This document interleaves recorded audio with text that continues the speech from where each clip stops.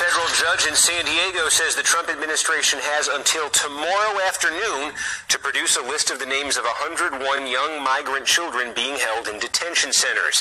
That order applies to five ki- to kids under uh, five years old taken from their parents at the border. During a conference hearing earlier today, the Trump administration asked the judge to extend the deadline to reunite the nearly 3,000 children who were separated from their parents. The first court mandated deadline applies to those very young kids who are supposed to be reunited by Tuesday. NBC News national security and justice reporter Julia Ainsley, who joins us in a moment, reports that, quote, government lawyers said U.S. Health and Human Services would only be able to reunify about half of approximately 100 children under the age of five by the deadline of July 10th.